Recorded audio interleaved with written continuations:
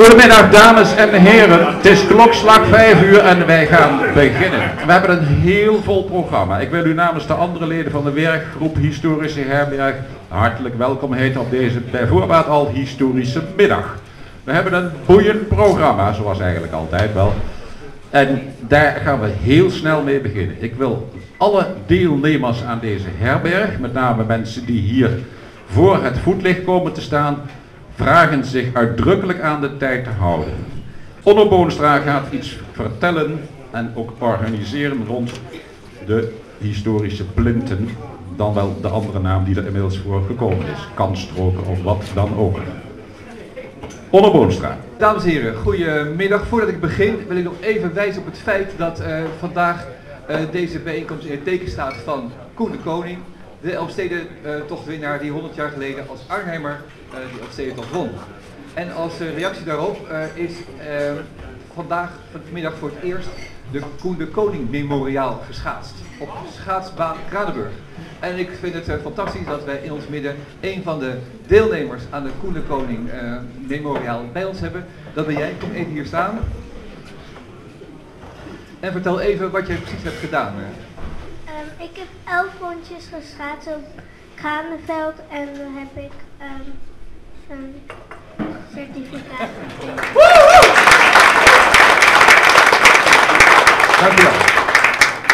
Elke rondje was een stad hè, en elke keer moest je dan weer afstempelen zodat je elf steden hebt gedaan en zo op die manier de Koen de Koning Memoriaal volledig hebt afge, uh, afgelegd van het begin tot het einde. Dankjewel. Goed. Dames en heren, deze foto zal u misschien bekend zijn. Uh, die komt uh, van uit uh, oktober van vorig jaar. Toen de burgemeester samen met de, um, de um, de Lyle um, de eerste Arnhemse kantstrook onthulde. Die betrof het feit dat op die plek die u hier ziet, in de Bakkerstraat, 425 jaar geleden de Sir Philip Sidney overleed. En dat is gememoreerd in de vorm van die kantstrook. Die kantstrook ziet er als volgt uit. het is een simpele strook van zwart marmer of zwart steen, waarop het verhaal staat waarom die meneer Sidney in Arnhem was, wat hij hier deed, waarom hij overleed en waar hij overleed.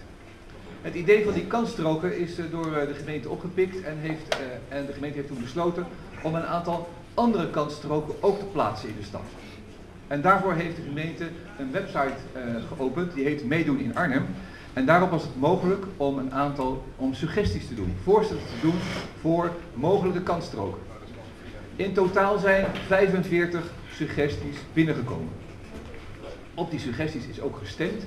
En uiteindelijk zijn er drie uh, uh, stroken uh, het meest frequent gestemd. En dat waren niet degenen die nu rechts zien staan, maar dat waren deze. Nieuwmonnikenhuizen, Loesje en Marga Klompé. De absolute winnaar was Nieuwmonnikenhuizen. Dat kwam omdat een van de deelnemers de, de supportersvereniging van Vitesse heeft ingeschakeld om te stemmen. En ja, en die bleken te winnen. Maar het is ook een heel mooi uh, uh, voorstel om juist die oude plek van, het, uh, van, van waar het Vitesse Stadion heeft gestaan, om die te memoreren, omdat daar uiteindelijk toch het hele betaald voetbal in Arnhem is begonnen. Um, ook is leuk dat je hier aan ziet dat er eigenlijk drie soorten kansstroken zijn, ge, zijn, hebben gewonnen. kansstroken over een bepaald persoon die er is geweest kansstroken over bepaalde gebeurtenissen die hebben plaatsgevonden en kansstroken over bepaalde instellingen die er zijn geweest. Daarnaast, naast die, uit die 45 uh, voorstellen was ook een voorstel voor een kansstrook voor het geboortehuis van Willem Hendrik Dullard.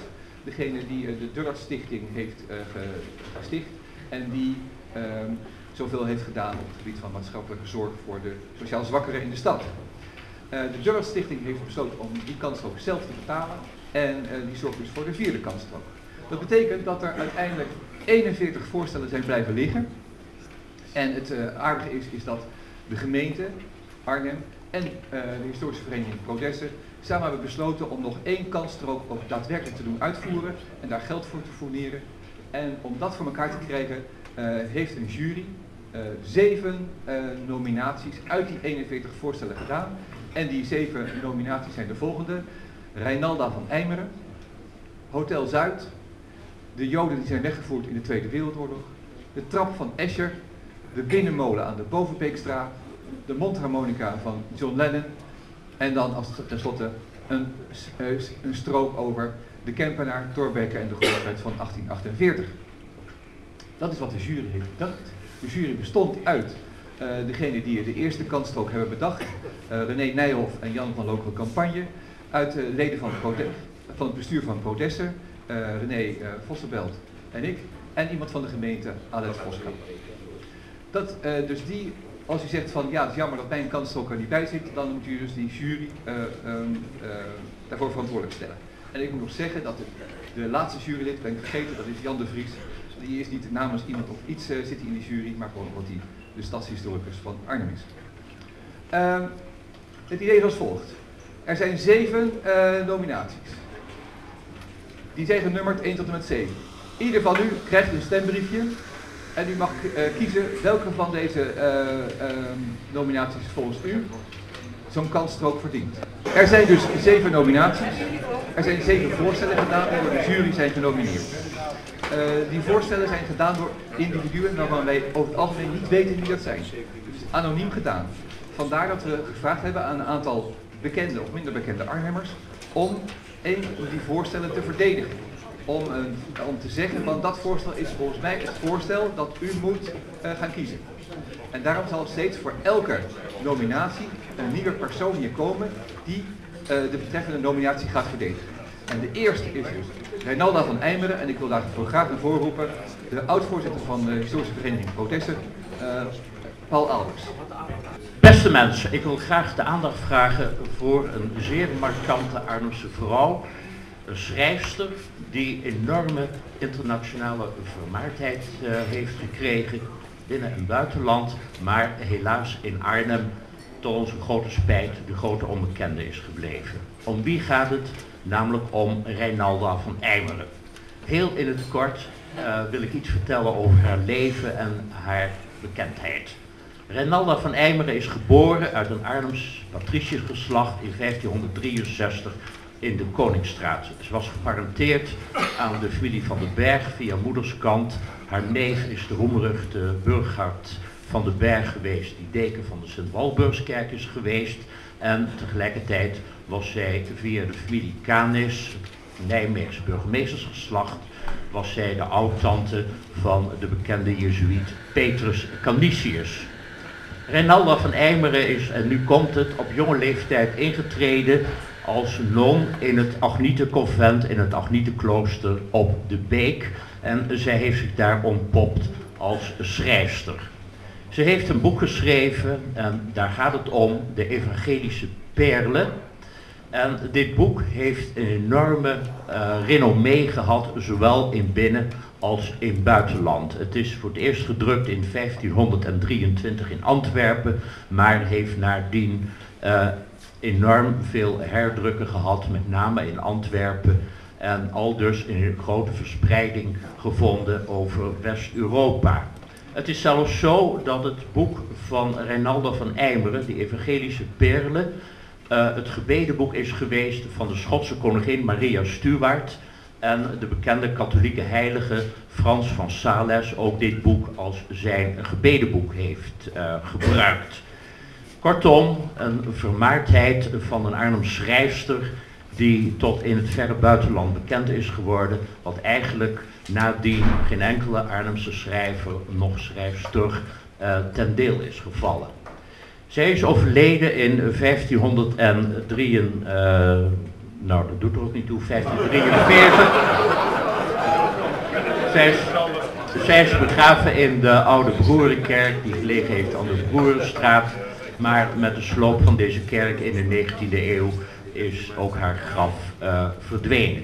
Niettemin, om kort te gaan, zou ik toch een lans willen breken voor deze zo markante vrouw die het 500 jaar lang heeft volgehouden om tot de bekende katholieke voortrekkers uit de middeleeuwen gerekend te worden. En ik vond het al een hele eer, ik wou even afmaken, een hele eer dat in 1987 in de katholieke Sint-Bavelkerk in Arnhem, in Haarlem, een aantal portretten zijn opgehangen waar Reinalda van vooraanstaande katholieken, waar Reinalda van Eimeren prijkt naast enerzijds Thomas van Kempen, Thomas van Kempis, en anderzijds naast Petrus Canisius.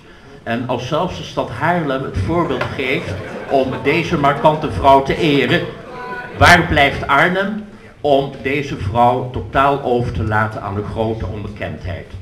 Kortom, mijn standpunt, Reinalda van Eimeren. Nummer 2, en dat is Hotel Zuid. En wie kan ik daar beter voor vragen dan eh, Nico Wiggers, uh, fractieleider van uh, Zuid Centraal, de partij die zoveel doet voor Arnhem-Zuid. Het is mijn uh, groot genoegen om hier voor u te staan om met weinig woorden u te overtuigen dat u straks moet kiezen voor, of zou kunnen kiezen, voor het, het plaatje nummer 2, als dat aankomt. Daar is die Hotel Zuid. Ja, weinig woorden, dames en heren, zijn er voor nodig om u natuurlijk te overtuigen dat deze icoon aan de voet van de historische brug, de John Volsbrug, natuurlijk eh, alle aandacht verdient. Het is toch volgens mij geen gemeentelijk monument, maar er is alle aanleiding om dat als gemeentelijk monument aan te wijzen. En ik zeg u toe dat als u vanavond eh, hier kiest voor nummer 2, omdat dat in uw hart is, omdat u zegt van dat hoort bij de John Volsbrug, dat Hotel Zuid, was dat daarna uh, uh, gebouwd, na, na, na, na die slag een paar jaar later is dat gebouwd. Het is ook bij volksvesting nog in gebruik geweest. Het heeft nu weer een bestemming. We weten niet precies wat er meer gaat gebeuren. Om de slopershamer te voorkomen, om te zorgen dat er straks een gemeentelijk monument aanhangt.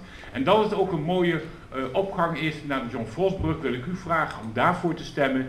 En als u dat doet, dan uh, uh, ga ik ervoor zorgen dat het een monument wordt. Dank u wel voor uw aandacht.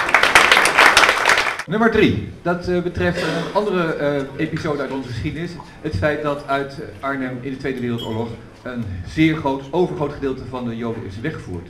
En Hans van Aalten wil ik graag het woord geven om hem te vragen of hij deze nominatie wil verdedigen. Dankjewel. Uh, ja, ik had het me anders voorgesteld. Ik had gedacht dat ik een filmpje van twee minuten kon laten zien wat recentelijk of wat vier jaar geleden door TV Gelderland is uitgezonden toen ik het eerste burgerinitiatief in Arnhem indiende om tot een verwijzing van het lot van de Joodse Arnhemmers te komen in de publieke ruimte. Dat filmpje kunnen we niet draaien, want er was hiervoor gekozen, was een kleine kortsluiting. In dat filmpje trad onder andere meneer Siegfried Bachrach op, die hier op de voorgrond zit. En hij hield in dat filmpje een pleidooi voor dat idee van mij om uh, bij, bijvoorbeeld bij het station een vermelding te doen, omdat uiteindelijk via het station heel veel Joodse Arnhemmers zijn afgevoerd, vertrokken, soms vrijwillig naar Westerbork en daarna naar elders.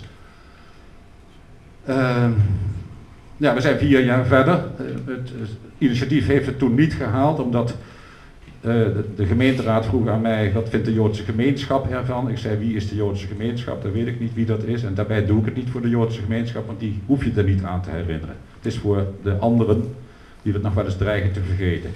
Nou, de burgemeester is toch naar de Joodse gemeente geweest, heeft met drie bestuursleden gepraat en die zeiden van ons hoeft het niet. En met die boodschap kwam de burgemeester terug en de, de toenmalige gemeenteraad had niet het lef om toch te besluiten tot deze stap. Ik had me voorgesteld dat ze het besluit zouden nemen dat je dan in overleg treedt, maar dat is niet gebeurd. Initiatief van de baan, ik ben toen aan mijn eigen website begonnen met uh, de zwarte bladzijde. Die zwarte bladzijden zijn inmiddels ook in de stad te zien. In de Nieuwe Stad zijn er vier geplaatst. In de Rijnstraat zijn er drie. In de Klarenstraat staat er één bij Radio Piet. En er zullen er steeds meer komen in allerlei winkels en panden waar Joodse mensen hebben gewoond. Dat is mijn oplossing van dit probleem.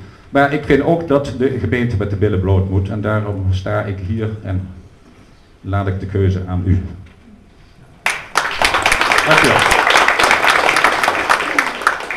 Dat brengt ons bij nummer 4 en dat is uh, de trap van Escher. En Edwin Verdurmer van CASA is zo bereid gewillig geweest om daarvoor uh, de verdediging op zich te nemen. Alsjeblieft. Dankjewel. Is mijn tijd al begonnen? Wie is er bekend met het werk van Escher? Even handjes. Iedereen. Ja, ik ben klaar. uh, ik zal iets vertellen over de relatie van uh, Escher met uh, Arnhem. MC Escher, Maurits Cornelis Escher, is geboren in 1898 in Leeuwarden. En het gezin Escher kwam in, toen Maurits vijf was, of Mauke vijf was, kwam, kwam het gezin naar Arnhem. Ze woonden op de Utrechtse weg bij het Stationsplein. En uh, Mark vond vooral uh, knutselen, timmeren, tekenen ontzettend leuk. Toen hij 14 was, ging hij naar de HBS in de Schoolstraat. En uh, daar vond hij eigenlijk alleen tekenen leuk, de rest niet zo heel erg. Maar hij raakte ook erg geïnspireerd door het trappenhuis, mooi trappenhuis. En later is veel van zijn werk is, is gebaseerd op dat trappenhuis met de boogjes en, en een beetje de, de Moorse motieven. Um, hij leerde daar ook linoleumsnedes maken van zijn tekenleraar. Dat is later ook erg bepalend geworden in zijn werk. En ik zei al, hij vond tekenen leuk en de rest van de vakken niet zo erg. Dat had ik eigenlijk zelf ook. Ik vond ook veel van de vakken op de middelbare school niet zo leuk. En dan ging ik Escher tekeningetjes maken van die onmogelijke trappen en die, en die, die waterval. Wie deed, wie, deed, wie deed het ook uh, op school, Escher tekeningetjes maken? Was ik de enige? Echt waar? Potverdorie. Um, in ieder geval, Escher is wereldberoemd geworden. Niet alleen in Arnhem, maar je ziet zijn werk overal. Als je, als je ergens een boekenwinkel binnenkomt, uh, zie je boeken over Escher. Je ziet overal de reproducties. Sterker nog, Escher is de meest gereproduceerde graficus ter wereld. En, uh, nog 20 seconden. Um, goed, wat ik eigenlijk wil zeggen is dat Escher is wereldberoemd. Den Haag heeft het Escher Museum, maar Arnhem heeft niets. En dat is raar in de stad waar hij als jongeling en als uh, puber is gevormd, waar hij zijn tekentalent heeft ontwikkeld en waar hij later nog vaak uh, terugkwam. Daar is niets over Escher te vinden tot vandaag, want daar kunt u iets aan doen.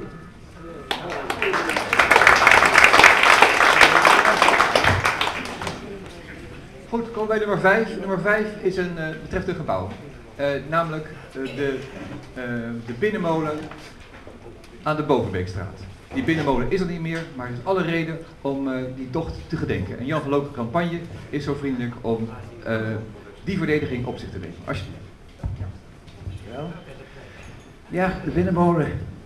Hij is er niet meer, maar hij is er heel lang wel geweest.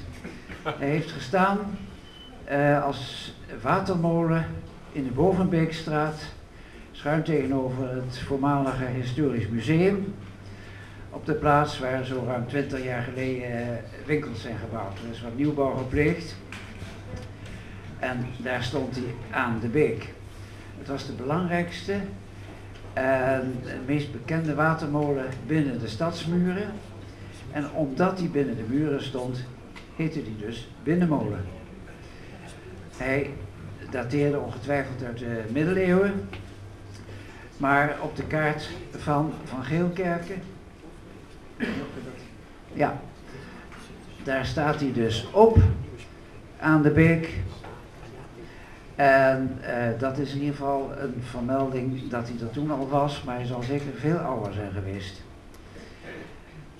Uh, er waren dus twee raderen, zoals u ziet. En die werden allebei dus in beweging gebracht door de beek. En helaas is dus toen de beek werd overkluist in de 19e eeuw, midden 19e eeuw, is de molen afgebroken, 1847. En daar is toen het latere gymnasium gebouwd. Maar dat gebouw is dus ook alweer weg. Ze hebben in 88, toen dus die nieuwbouw daar zou gaan plaatsvinden, de exacte plaats aangetroffen van de binnenmolen. En die waren dus nog volledig aanwezig, dus de plaats is precies bekend. Het is een kenmerkend voorbeeld van de bedrijvigheid die de Jansbeek binnen de stadsmuren heeft meegebracht. En daarom belangrijk voor de stadsgeschiedenis. En vandaar dus dat ik zou willen zeggen, daar hoort een steen thuis, een blindstone zullen we maar zeggen.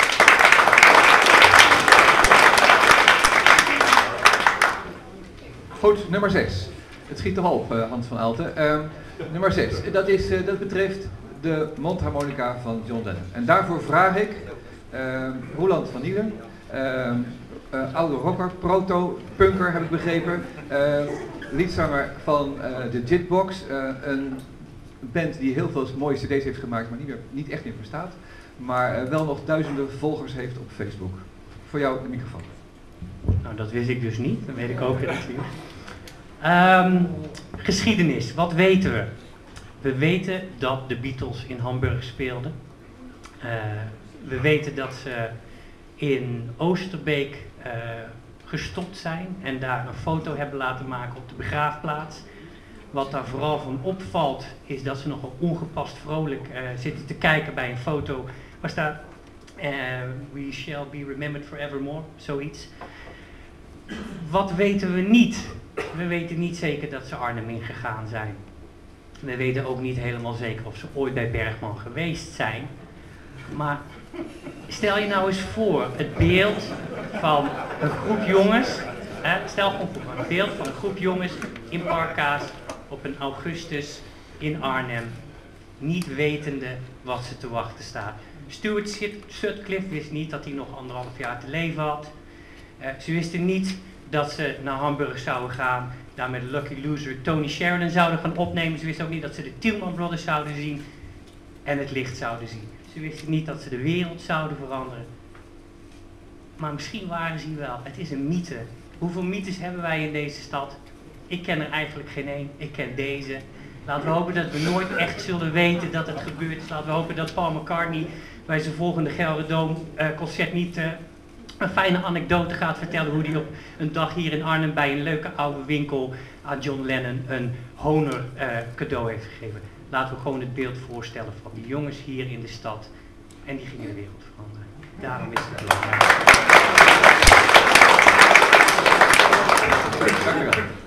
Goed, de laatste. Dat betreft um, um, de, de, de uh, nominatie met de langste titel. Die heet namelijk De Kempenaar, Thorbecke en de Grondwet van 1848. En ik wil graag de Roemieg Aarts, hoogleraar uh, nieuwe geschied, nieuwste geschiedenis van de Radboud Universiteit, vragen om uh, de verdediging van deze nominatie op zich te nemen. Dat zal ik graag doen, uh, Onno. Dames en heren, wie prijs stelt op persvrijheid, op burgerrechten en op de parlementaire democratie, die vraagt zich doorgaans niet af aan wie wij dat eigenlijk allemaal te danken hebben.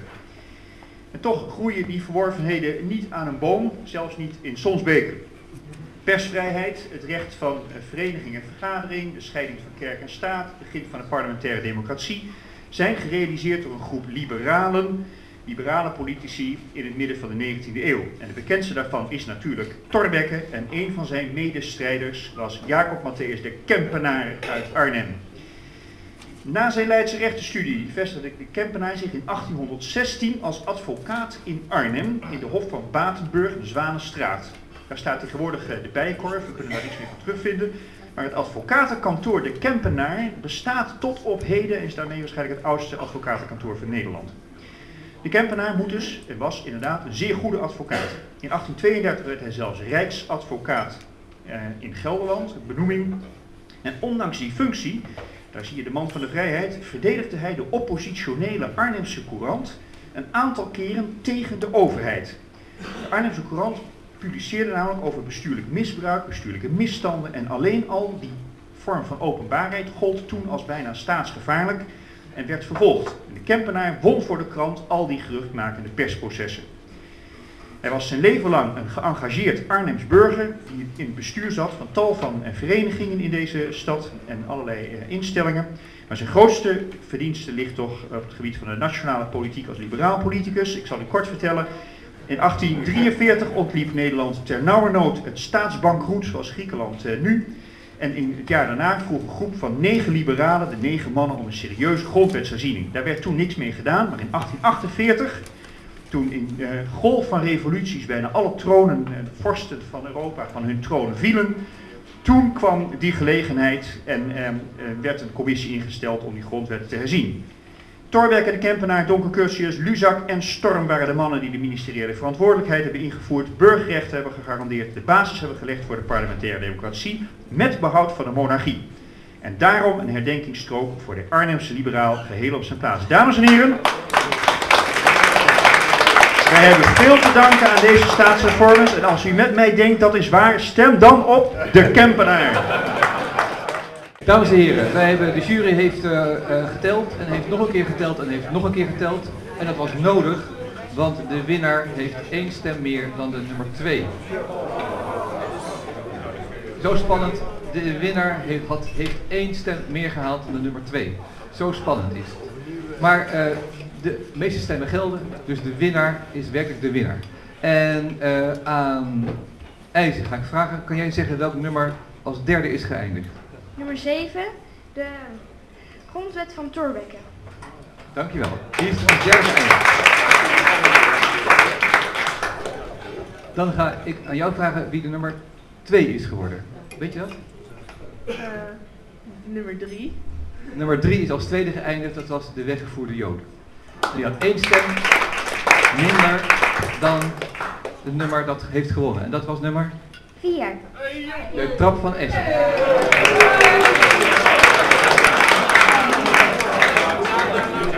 Dames en heren, jury, tellers, hartelijk bedankt. Eh, we gaan verder met het eh, programma.